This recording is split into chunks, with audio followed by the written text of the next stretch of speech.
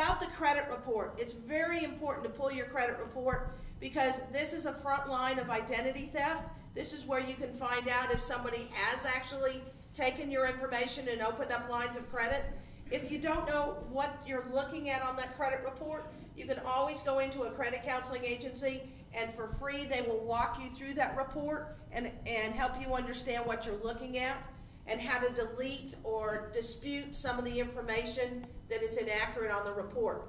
Because when your report is inaccurate, it could be costing you money on services because they're not getting the correct uh, picture of your credit history. So credit reporting is very important. It is, it is a way for you to find out what's going on around